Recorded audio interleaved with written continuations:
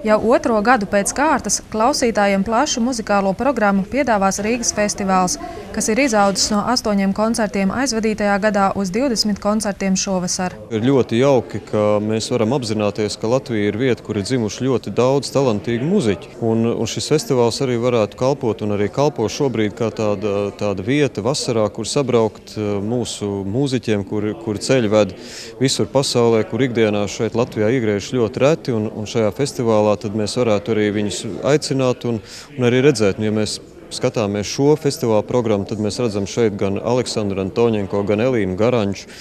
Faktiski varam uzskatīt arī Antoni Ļahovski par mūsējo Latvijas radio koru, Nacionālo simfonisko orķestru, Liepājas simfonisko orķestru grupu, Frames. Nu, var sakot, nu viss, viss no tā labākā, kas, kas vispār, ko Latvijas spēja piedāvāt arī šajā festivālā būs. Un nerunājot nemaz par viesiem. Un arī festivāla trešā ideja ir eh, parādīt Latvijā šos eh, ārkārtīgi spilgtos mūziķus, kuri citur pasaulē koncertē un šeit Latvijā arī ļoti reti iegriežas, kā piemēram Pīters Eldričs vai, vai Magnus Limbergs, vai kā mūsu festivāla īpašais viesis Vladimirs Fedosējevs ar Maskavas Čaikovsku lielo simfonisko orķestri. Rīgas festivāls tiks atklāts ar koncertu Rīgas domā 2. jūnijā, kurā skanēs divu izcilu komponistu un domu biedru mūzikā Pētera Vaska un Arvo Pērta kompozīcijas ar nosaukumu Credo, jeb Es ticu, Valsts akadēmiskā kora Latvija un Latvijas Nacionālā simfoniskā orķestra izpildījumā. Savukārt jau 4. jūnijā Latvijas Nacionālajā operā spēlēs viens no Krievijas pašiem labākajiem simfoniskajiem kolektīviem – Pētera Čekovska lielais simfoniskais orķestris maestro Vladimira Fedosiejeva vadībā kopā ar Krievijas uzlacošo pianisma zvaigzni Antonu Ļahovski. Maestro Vladimirs Fedosejevs, kurš orķestri vada jau kopš 1974. gada, ir varētu teikt, viena no, no Krievijas mūzikas ikonām. Cilvēks ar ārkārtīgi smalku muzikālu intelektu, orķestrim piemīt nu, fantastisks vienkārši skanējums, jo tādu stīgu skaņu, es domāju, ka otras pasaulē tādas nav ar tādu piepildījumu, ar tādu intensitāti. Šo koncertu būtu vērts aiziet kaut vai pat, ja orķestris un diriģents neko nespēlētu, vienkārši uz viņiem paskatīties. Jo vienkārši tā tiešām ir leģenda, un, un šis koncerts operā tā noteikti ir mūsu festivāla viena no virsotnēm.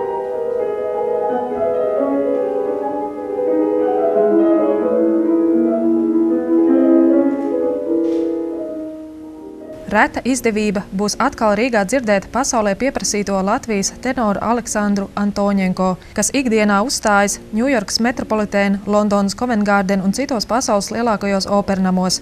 Taču Rīgā 6. jūnijā Rīgas Svētā Jāņa baznīcā kopā ar Latvijas radio kori un soprānu Ievu Ezerieti viņš sniegs programmu Krievu romantika. Jautāju Aleksandram, vai pietiek tikai ar labu balsi, lai kļūtu par tik izcilu dziedātāju. Jebkuram cilvēkam, kam ir iekšēji ļoti bagāta garīga dzīve, šim cilvēkam, kā pārpildītam traukām, nevar ieliet kaut ko. Laiku pa laikam nu, vajag izliet to. Manā gadījumā man ir dziedāšana, tas, kas man ir, kas man uzrunā, un uh, es dodu savas, savu emocionālo pasauli, dodu um, iziet eh, manam spēkam, garīgam, caur, caur eh, mūziku, caur dziedāšanu. Tāpēc es domāju, ka tiešām tikai balss viņa neko nedod. Jābūt iekšējam saprašanai, ko tu gribi cilvēkiem pateikt. Tas ir vissvarīgākais.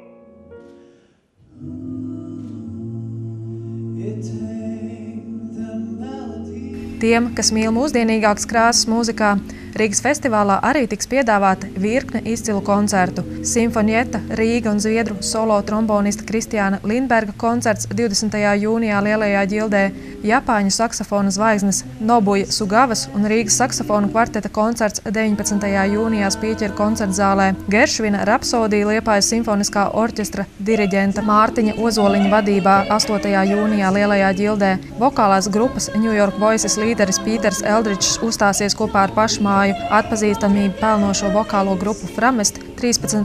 jūnijā Kongresa namā un būs vēl arī citi koncerti.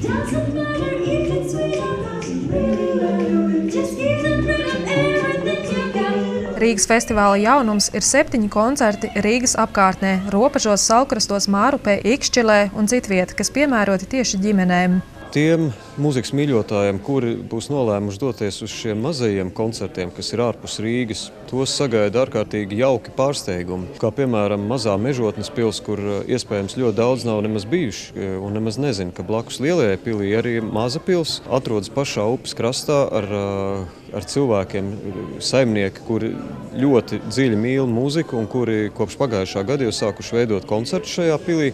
Tāpat arī Ikšķilē, Robežos un citās, citās brīnišķīgās vietās ir sakopta vide ārkārtīgi jaukas koncertu vietas, gan, gan iekštelpās, gan ārtelpās. Es domāju, vienkārši ņemiet visi ģimeni, kāpiet mašīnā un brauciet uz šīm vietām, jo tur ir gan uh, interesantas vietas, ko redzēt, gan, gan arī garšīgi, kur paēst, un arī gal galā nu, ir koncerts, uz kur visiem tad kopā aiziet.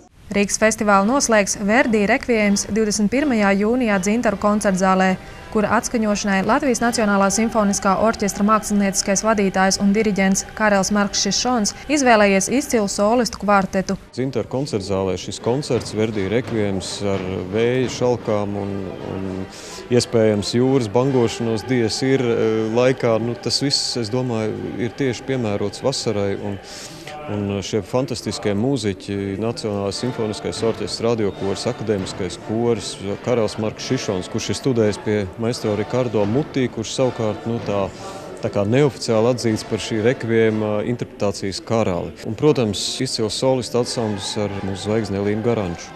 Ko tur teikt? Nu, labākie no labākajiem. Informāciju par visiem koncertiem var meklēt mājaslapā Latvijas koncerti LV.